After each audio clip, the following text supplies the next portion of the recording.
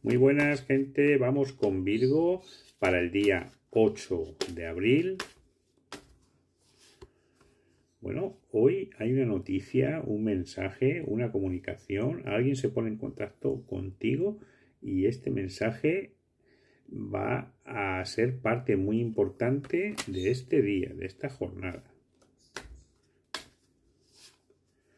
Bueno, mmm, si estás esperando tener familia, hoy es el día en el que te pueden dar una buena noticia, pues eh, vas a ser papá o mamá. Mm, si no quieres, si no quieres este, este tema y estás teniendo relaciones íntimas, cuidadito, cuidadito, pues puede venir un nene o nena, ¿vale?